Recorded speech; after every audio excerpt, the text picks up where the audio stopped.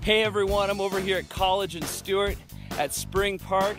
I am looking forward to this Sunday night because it's our parent night. You know, I love this event. It's a time for us to look in the past and to celebrate all the cool things that God has done. We're also going to look ahead to the 2015-2016 calendar. I'm going to share with you guys all the great events and cool things that are going on with NEXT, plus give you all the information you need to know as a parent. But let's not forget, we also have our parents versus students kickball game. Now, parents, I know you dominated last year, but I, those students are ready for some revenge. Oh, hey students, don't forget, you also need to wear tube socks, much like these.